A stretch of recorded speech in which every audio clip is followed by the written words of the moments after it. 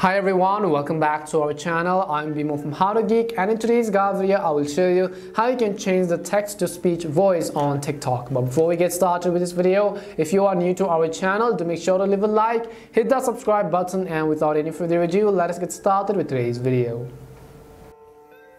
How to change text-to-speech voice on TikTok. So you might have noticed that whenever you actually put a text on TikTok and then there is a voice of a certain girl, but let's say that you want to change that particular voice, let's say you want to change it to male or so on, make sure to watch this video till the end. We're going to start off by also making sure we have updated the TikTok app to the latest version. You can do this by heading over to your app store, in the search box type in TikTok and go ahead and simply either download or update the TikTok app once you have updated TikTok, what you could do is simply go ahead and open the TikTok app on your phone. And the next thing you want to make sure is that you are logged into your account. Once you're logged in, you can see this is how the interface is going to look like. So first of all, I'm going to go ahead and basically log into my account.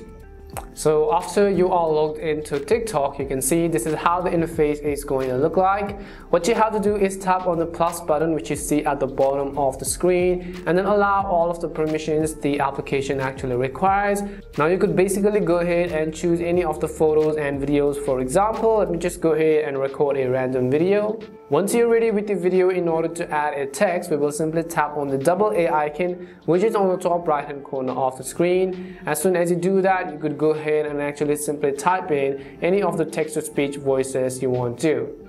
So you can see this is our current text-to-speech and if I want to add a voice to it, you have to simply first of all tap on it. As soon as you tap on it, you'll be able to see a bunch of different options. So let me try, go ahead and show you again. At the top, you have to tap on text-to-speech as soon as you do that. How to change text-to-speech on TikTok. So you can see that the text-to-speech has actually been applied. Now, previously what used to happen was that if you tapped on it and here would be basically an option to change the text-to-speech voices, but you have to understand that in the recent times TikTok has actually removed this feature so we cannot change text-to-speech voices within TikTok app anymore.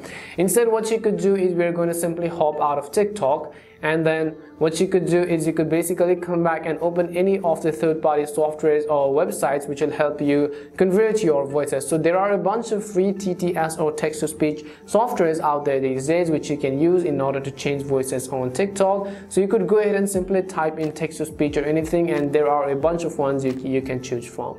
We hope this video gave you some insights about the TTS on TikTok and how you can change voices we also hope this video was really helpful and if it did help you, make sure to leave a like and subscribe to the channel. If you have any more questions, make sure to also leave them down. Thank you very much for watching and see you soon in our next video.